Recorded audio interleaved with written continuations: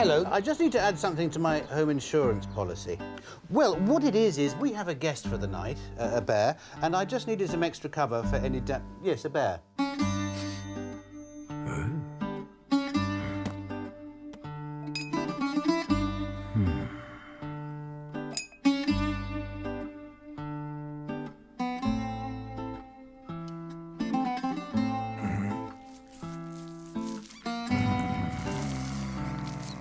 Grizzly?